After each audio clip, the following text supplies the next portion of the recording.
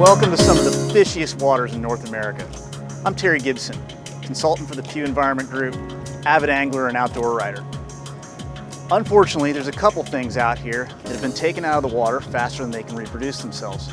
That's called overfishing. We're gonna leave those guys alone today, but there's still plenty, plenty of fun things, tasty things to catch out here. Let's go.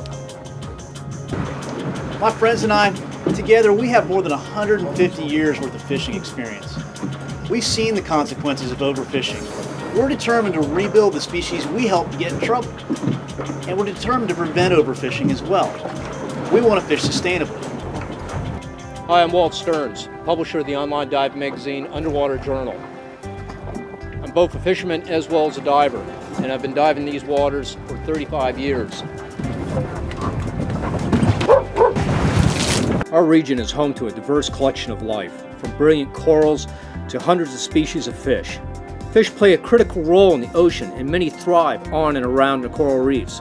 During my dives, I've seen an alarming trend and what I'm seeing are fewer and smaller fish. We are fishing our reefs too much and managers put off what needed to be done. Now we have better laws that require action, but these actions are only going to come through if we all pull together. We need to regulate our fishing. For example, we have a good plan in place to save South Atlantic red snapper, which had dropped off by almost 90%. We can't fish for it now, but that ban will be lifted eventually, and we'll have a bounty for the future. A similar plan seems to be working in the Gulf of Mexico for the red snapper. That species is on the road to recovery after scientists and managers figured out the right limits on catch. What'd you see, Walt?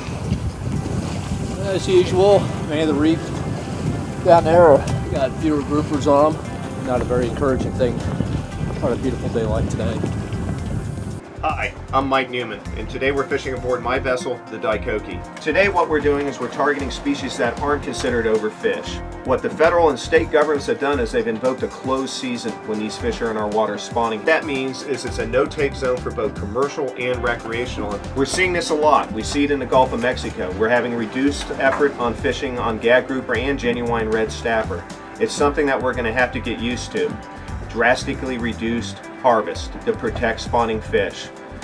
If we do this, we can rebuild the stocks. It'll take several years, but we can finally see a fishery comparable to what I grew up with. That's why it's a good idea to prevent overfishing in the first place. In the South Atlantic and the Gulf, there are plans to set limits now before fish populations get into trouble. That's the right idea, especially for my kids, so that they can enjoy the experience of being on the water, reeling in the big ones, or at least telling the people they did. Hi, I'm Justin Rieger, a young charter boat captain here in the southeast. This here is an amberjack, a common catch, average size about 30, 40 pounds. Used to, the average size would be 60 to 80 pounds. Something we don't see anymore because of overfishing. Just like with the sea bass and the red snapper. You know, red snapper world record 50 pounds. Now you have to weave through 20, 25 to throwbacks just to keep one just over the size limit. I'm in this for the long haul and I'm looking for this to be my lifetime career. And it's you know real shame to see how this overfishing has, has devastated some areas. One day I'd like to see these rules go into effect to where I can go out and actually put some of these fish in the box for my clients and have a steady population of fish to come back to tomorrow. Fishing's a great sport. There's absolutely nothing we'd rather do than fish. It also brings home a lot of paychecks for a lot of people. That's why we need to think long term. Unfortunately, a few short-sighted anglers and commercial fishermen want to keep fishing on species that are overfished and undergoing overfishing.